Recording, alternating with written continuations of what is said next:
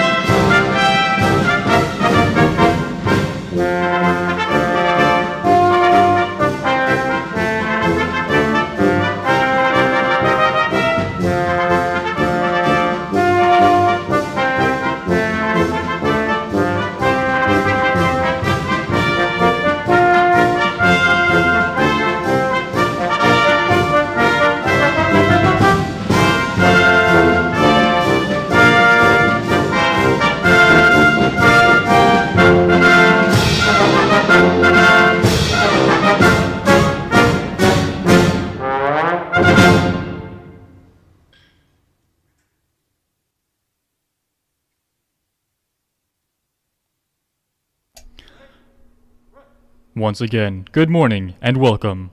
Today, the United States Army Military District of Washington, represented by the soldiers of the 3rd United States Infantry Regiment, the Old Guard, and the United States Army Band, Pershing's Own, pay a special tribute to several soldiers who are retiring after many years of distinguished service to the United States Army and our nation. Participating in today's ceremony, from left to right, is the United States Army Band, Pershing's Own, formed in 1922 by then Army Chief of Staff, General John J. Pershing. The United States Army Band is the premier band of our senior service. Pershing's Own provides musical support for ceremonies and special events in our nation's capital and throughout the United States. The United States Army Band is under the direction of Captain Richard Viglucci and led by Drum Major Rob Moore.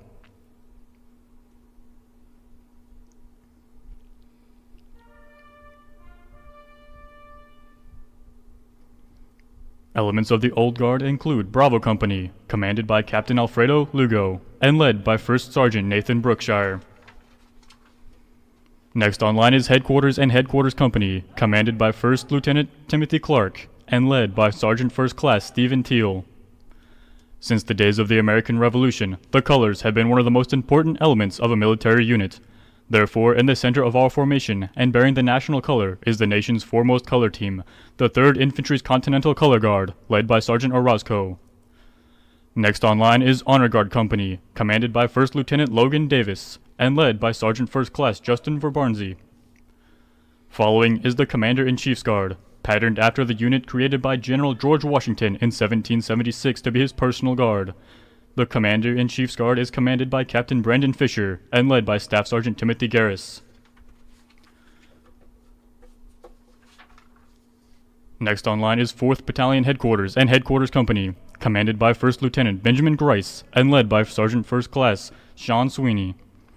The last element to your left, dressed in the Continental Musician's uniform, is the United States Army Old Guard Fife and Drum Corps. During the American Revolution, musicians wore the reverse color of their parent infantry unit. The men and women of the United States Army Old Guard Fife and Drum Corps maintain this tradition by wearing red coats instead of the infantry blue. The Corps is led today by Drum Major John Parks.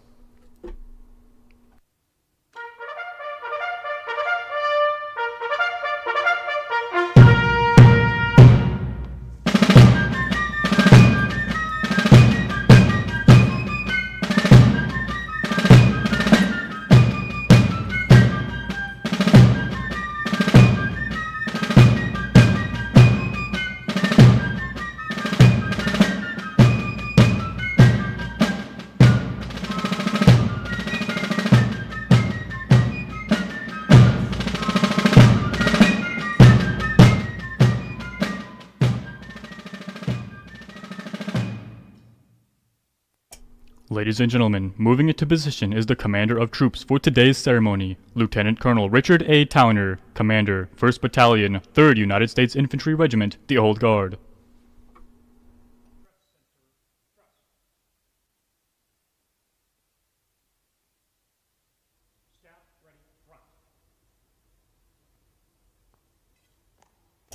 The history of the 3rd United States Infantry Regiment reflects the growth and development of our nation. 52 well-earned campaign streamers, 2 Valorous Unit Awards, 5 Meritorious Unit Commendations, and 5 Superior Unit Awards attest to the Old Guard's record of bravery in action and achievement during peacetime. Right shoulder off. Shoulder, forward, and one, and two, and three.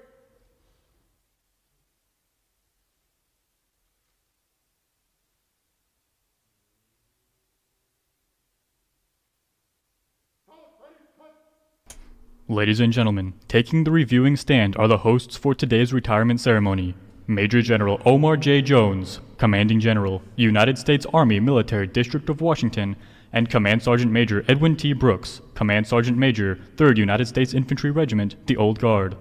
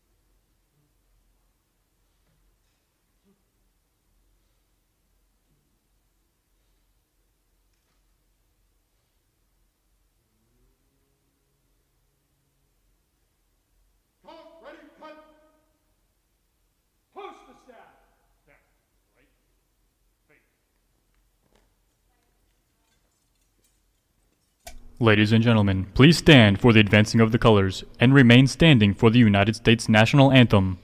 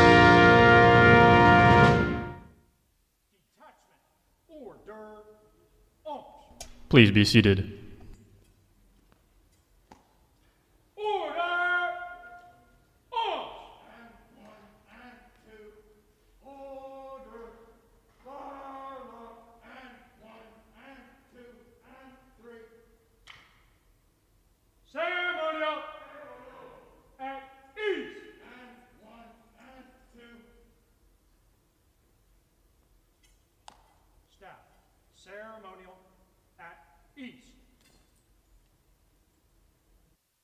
Ladies and gentlemen, Major General Jones and Command Sergeant Major Brooks are taking their position to honor today's retirees.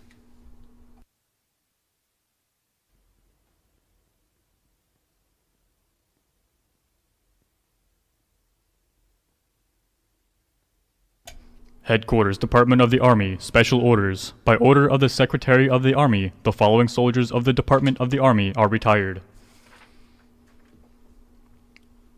Colonel Eric E. Bailey, Medical Services.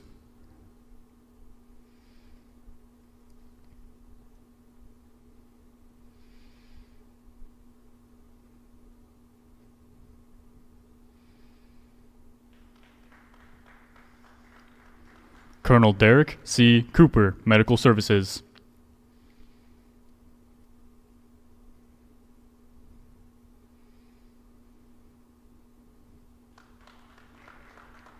Colonel Harry A. Huckleborn, Infantry.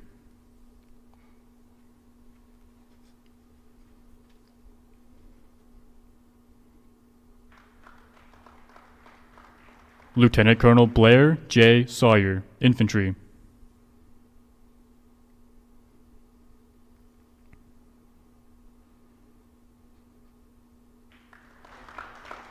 Major Hung N. Liu, Signal Corps.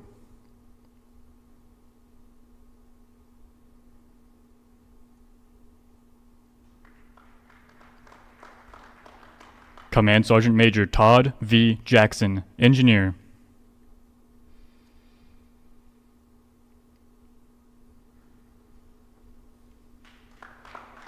Sergeant Major David J. Lee, Signal Corps.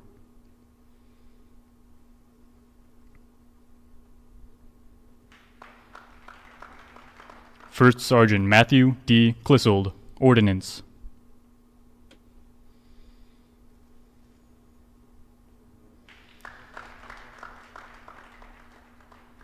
Sergeant First Class Alan R. Galizia, Quartermaster.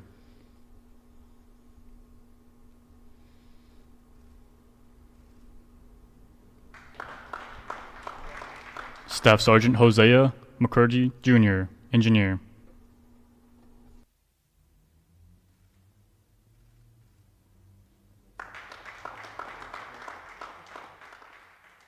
We are proud to recognize these soldiers' devotion to our country, and we wish them happiness and prosperity in their well earned retirement. Ladies and gentlemen, at this time, Major General Jones will now present the flag of the United States of America to Command Sergeant Major Brooks in recognition of his 31 years of time honored service to the United States Army and our nation.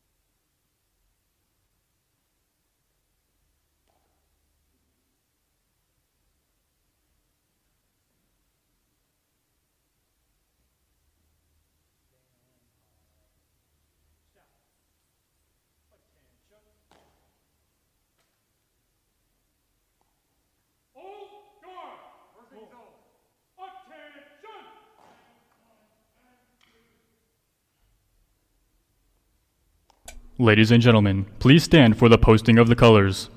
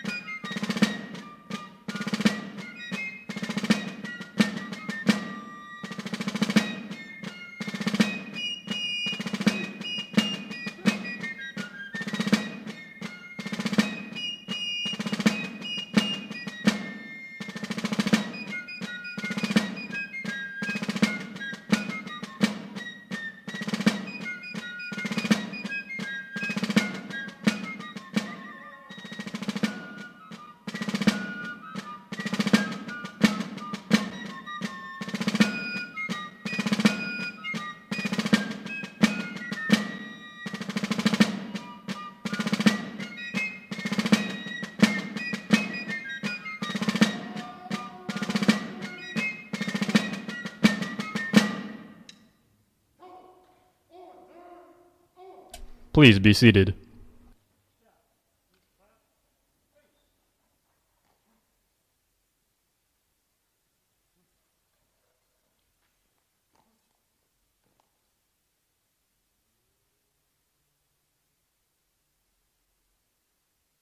Colors ready, cut. Ceremonial.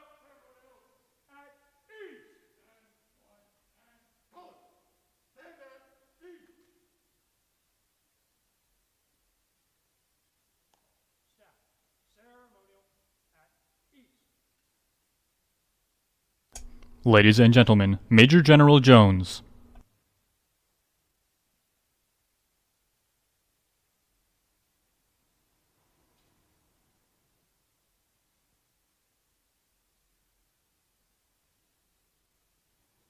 What a great morning to be a soldier. Uh, thank you all for being here. Fellow general officers, command sergeants major, distinguished guests, ladies and gentlemen, and most importantly, our retirees and, your families. On behalf of our 40th Chief of Staff, the United States Army, General James C. McConville, welcome to today's Department of the Army retirement ceremony. Thank you all for joining us, and thank you for sharing this ceremony with this amazing group of Americans to my front. I truly wish everybody could be here in person today and share this ceremony. But these are unique times, unique for the world, unique for the country, and unique for our Army. But there are also special times, and this is a special ceremony. Special for you all, our retirees, special for your families, and special for the entire United States Army. Everyone, whether you're here in person or, out watching online, you honor these retirees and you honor their families with your presence, both in person and virtually. I'd like to start by recognizing the outstanding soldiers of the Old Guard and the United States Army Band, Pershing's Own to your front. These great soldiers represent the professionalism and the dedication of our entire Army. Over one million soldiers in uniform today, and make this ceremony, just like every single thing they do, memorable. Also, I want to take a moment today. I, I, get an opportunity to host this ceremony each month, and every single one is special. Every single retiree is special. But on a personal note, to be able to be part of Command Sergeant Major Edwin Brooks' retirement today makes it special. Not only did we serve together over the past year and a half, while he's been the Command Sergeant Major for the Old Guard, the senior enlisted leader for all the soldiers here to the front. But we found out we also started Ranger School together on a very cold January morning in 1993, which I think dates us both a little bit. Um, but Sergeant Major, I just want to thank you for your 30 plus years of service, your 30 plus years of leadership. Congratulate you and wish you the very best as a soldier for life going forward. Thank you very much.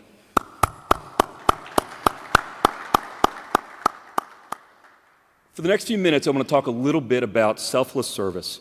It's one of our values as, a, as the Army, and it's something that 10 of you have personified your entire careers. In fact, this group of retiring leaders represents 213 years of selfless service to our nation, and collectively, y'all represent almost 20 years of combat experience. As selfless servants, you have spent the last 20 years, and in some cases 30 years, putting the welfare of the nation, the welfare of the Army, and the welfare of your subordinates before your own. To the American public, you're simply soldiers, but to us, your family, bound by a common thread of duty, honor, and country. During the span of their careers, these professionals did everything our nation asked and more, from fighting and deterring enemies to training soldiers for combat to deploying overseas, often multiple times and you achieved remarkable success in everything you did.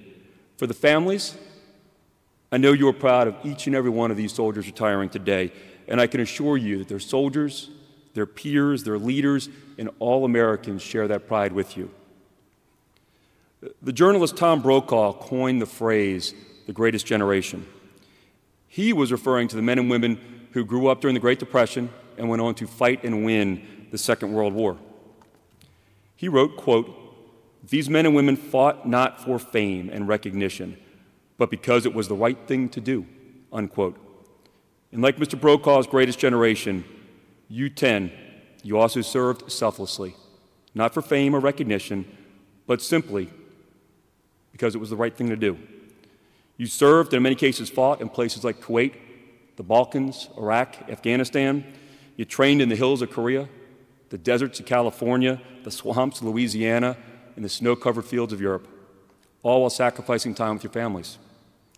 And your service and the Army's commitment to our nation continues today as soldiers just like you, serving around the world, protecting this nation, and serving around the country, helping us protect the American people from this pandemic. When you ask retiring soldiers why, why they do what they did, they look down at their shoes, avoid eye contact, and humbly respond, I just wanted to serve my country. I just wanted to make a difference. And what a difference each and every one of you made. You kept our country safe during some extremely challenging times. And your uniforms, your uniforms tell your story. The ribbons, the badges, the patches reflect the service, skills, assignments over the years and the golden stripes on the right sleeves reflect the combat tours of duty. Their uniforms tell the story of an Army profession, of battles fought and won, of overseas missions to aid those in need, and of valor and sacrifice. But for every ribbon, every badge, every combat stripe, there's a story that's not told the story of families who served alongside each and every one of you, who shared in your sacrifices, and who provided you all and all of our soldiers the support, the strength, and the courage to accomplish what our nation asked. Our families truly are the strength of our soldiers. So, on behalf of our nation, I thank the families for your unwavering support to our soldiers in our Army.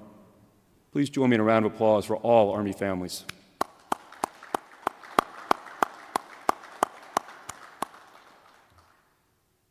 To you all, soldiers retiring today, I congratulate you on a job well done, on a remarkable career. You stood guard and maintained the eternal vigilance which has kept this country free for 245 years. And I'm honored to have served alongside each and every one of you. You've distinguished yourselves during a career of dedicated service to our nation, and you don't want to hear this today at your retirement ceremony, but your work's not over. You're professional problem solvers and professional team builders, and you exemplify the American spirit of getting things done and taking care of people. As you enter the retiree roles, know that you're a soldier for life. And though you won't be in uniform anymore, I have no doubt you'll continue to lead by example, both in your communities and continue to serve our nation. As a retired soldier, you will also be a symbol of our Army and what it means to serve. You will always be an ambassador for our Army, and I encourage you to also be an advocate for our Army, to encourage America's finest sons and daughters to follow in your footsteps, to follow your example, and to don the cloth of our nation. Once again, ladies and gentlemen, on behalf of the Army leadership and on behalf of a Grateful Nation, thank you, each and every one of you, for your incredible, selfless service.